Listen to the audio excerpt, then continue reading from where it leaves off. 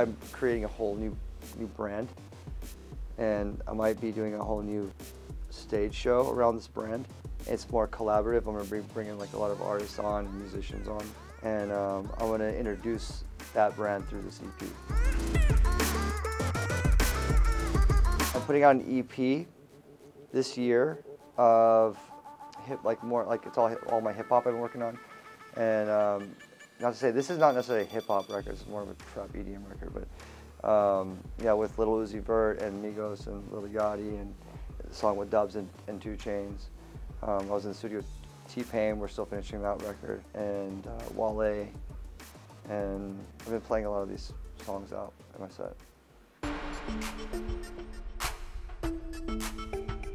That kind of rambunctious, spontaneous energy because that's how it was in the studio. Like when I was working with Lil Uzi Vert, we spent a week in LA, and people were just rolling through. You know, like Rich the Kid rolled by, and and uh, Marley Marl rolled by, and then like Marley Marl's like, "Yo, I, I have an idea."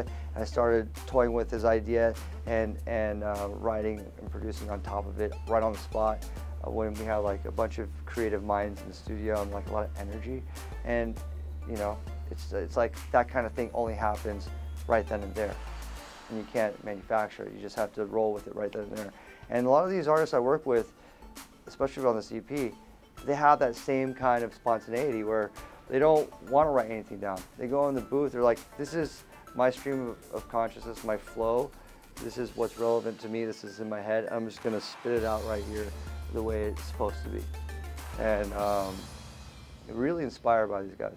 It feels like family. It feels like um, coming together with a lot of people. The energy is more of a group. It's like a group tank. We're all kind of in it together.